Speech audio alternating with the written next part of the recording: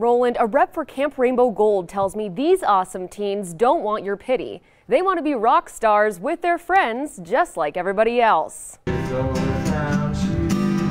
What would our teen years be like? Without music from our favorite artists to get us through. Teenagers are in a very important developmental stage of their lives. For Nathan Kimes, that artist is Bryan Adams. He writes these really heartfelt songs, and I, I listen to him all the time. And Kimes, a stage 4 cancer survivor since age 2, emulated one of his heroes in a songwriting themed night at Boise Rock School.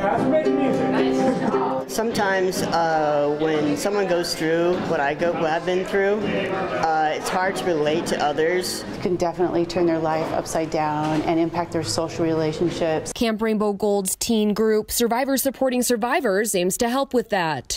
Being with other people who have experienced the same thing I have uh, just makes things easier with, with each other, and we all are understanding of one another. Survivors Supporting Survivors is in its 11th year, and they meet up once a month every month. Kimes says this group is designed to be less of a counseling group and more of a peer group. Their internal experience of their heart and their mind related to cancer or, or life in general, and to be able to to extract that and put it down on paper and then maybe even write a tune to it.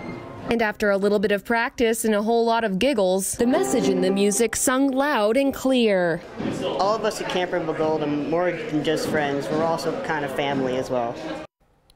You can learn more about survivors supporting survivors and Camp Rainbow Gold at 6onyourside.com. Live in studio, Madeline White, 6 on Your Side. Thanks, Madeline.